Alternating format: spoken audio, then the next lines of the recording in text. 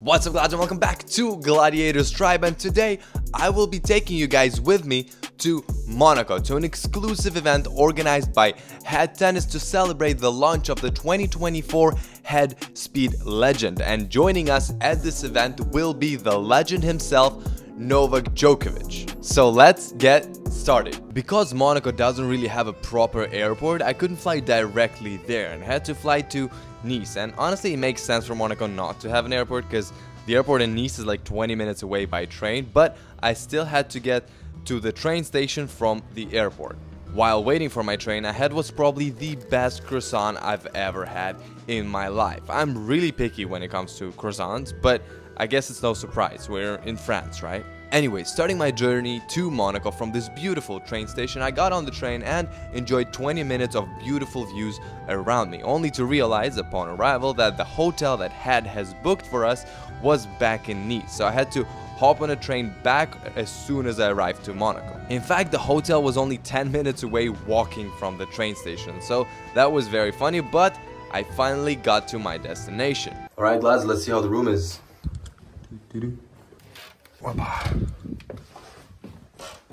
I mean, it's cozy, very cozy. It's a nice view. All right, Glad. So we've arrived to the hotel. It's a very cozy, nice little room. It's a three-star hotel, yet it's like 150 euros per night, which you kind of gives you an idea of the prices in Nice. And yeah, you, I probably already told you the story how I thought the hotel was in Monaco. I didn't check and I took the train to Monaco and then had to come back. But yes, the transfer is picking us up in one hour and we're going to Monaco, to Monte Carlo, where the event is taking place in the Yacht Club, which is, you know, fancy. So I have about an hour to get dressed, uh, shower, get dressed, and, uh, and yeah, just get ready. Uh, event starts at 4 and uh, Novak is going to arrive at 5.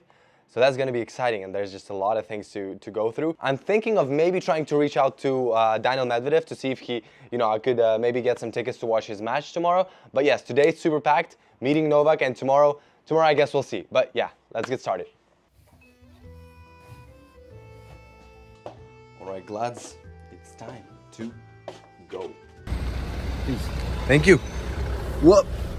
Bonjour.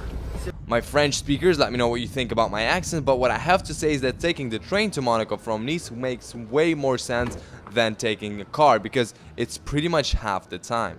For those who don't know, the Yacht Club of Monaco is a super exclusive club that is really hard to get into and it's not even about the money, which, well, it is also expensive, but in order to become a member, you have to be recommended by another member of the club, which is, well, interesting. But yes, that was the venue chosen by Head, which kind of highlights the importance of the event. When we entered the room, we were welcomed by the Head team and shown around the place. I immediately spotted the Head bags customized by Pauline from Art Custom Box, which would be signed by Novak Djokovic and given to us at the end of the event. Alright glad, so we entered the main area of the event, right here. A lot of camera people. Uh, getting a little intimidated with my small little camera by you know all these setups. But anyways, so uh, yeah, this is uh, this is the main display. Uh, Novak is gonna come up to every single racket and sort of tell a little story behind each frame from the first one, from the liquid metal radical, all the way up to the 2023 special edition, you know, like the the black head speed over here. And then um, the presentation of the 2024 speed is to happen on the stage.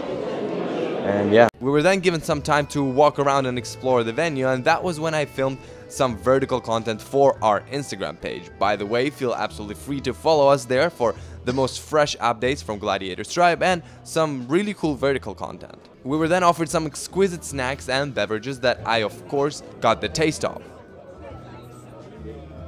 This was also the moment when I met the Tennis Warehouse team who were also at the event, always a pleasure to talk to them and what could be a smoother transition to reminding you that if there's absolutely anything tennis related that you're planning to get for your next uh, training session, the link to get that anything, like always, is down in the description below together with our exclusive discount code. This saves you some money and this really helps the channel. So back to the video. Then Novak arrived.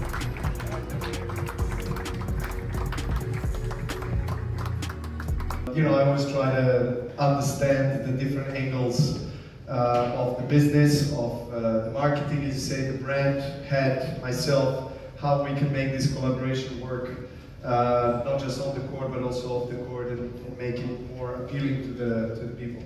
And you supported us making a difference, really a difference. Yeah, well, I'm you know very happy to do that, and, and After the fancy presentation, we will walk through every head racket that Novak ever played with and told some interesting behind the scenes and stories related to each one, including a story from back when Novak worked with Agassi on how he helped him pick out the racket. He brought literally three full bags of rackets. There was about 50 rackets, and I said, Andre, I'm not going to go through the entire process, please. He said, no, no, no. You know, I just brought all these rackets so you see the kind of process that I went through with the technical Okay. team. And then we chose three. And, and there are three rackets. If you don't like these three, I guarantee you there's one, that the, the racket that you're looking for is between those three. Okay. I'm 99% sure, and he was right. And he says, uh, I don't think you'll, it'll take a long time for you to find a racket. It took me 30 minutes. Wow. So out of all the 50 rackets that he brought, he said these three, and then I played with the three, and I said, okay, instantly, this is the racket. So he said you're gonna have a big, you know bigger reach and your returns. It's gonna help you with the serve. You know, it's gonna help you with most of your shots as you're getting older. This is the first uh, first Wimbledon exactly, and uh, they were playing around a lot with this graphene material that uh, I was kind of giving feedback, and I I actually liked my my grip to be uh, slightly smaller than it, at that time than what it is probably today I would say, but and in a search constantly for that racket. So it took me a year to really find it, and that's why that racket has suffered a lot. And uh, I don't know where those broken records are, but if there are any kids, I saw there are kids here, please do not break your rackets. Sorry, my bad temper. You After the walkthrough, it was time for the reveal of the 2024 Head Speed Legend, which was even a little bit emotional. Then the very cute photo shoot with the entire Djokovic family.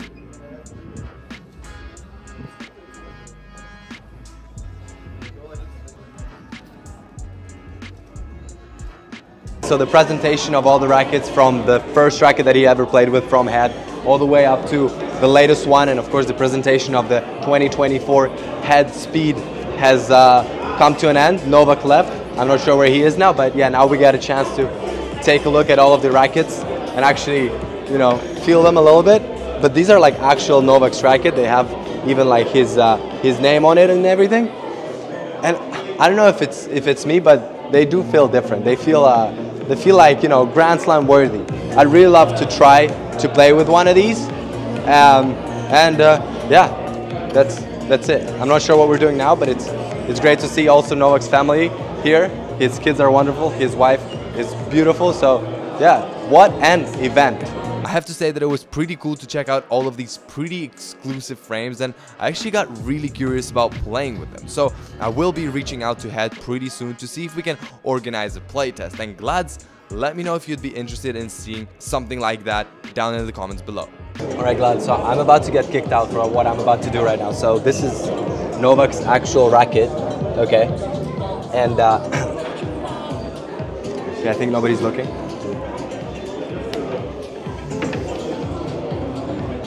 Okay, I'll put it back. And then it was time for the gift and I was really looking forward to it. Hi, I have a beautiful dress. Hello, I have a beautiful friend here. it's Time for the goodies. Thank you very much. Are you happy? I'm so happy. There's there's something inside of it. Yeah, check. No, there Check. isn't. There's. I thought there was a racket. Nothing. I don't get a racket. You don't deserve. I'm sorry. It is what it is. Ciao. So yes, I didn't get the racket, but I got this awesome uh, head tennis bag, which by tradition, of course, I will be taking to all of my future tournaments. And for those of you wondering who's that beautiful voice behind the scenes was uh, in the end of the previous clip, that's Mara Santangelo, who uh, was my camera woman for the event, but also, you know, the ex number 27 in the world and the winner of the 2007 Roland Garros. But this, of course, has way less importance. Primarily, she was my camera woman. And Mara, if you're watching this, ciao.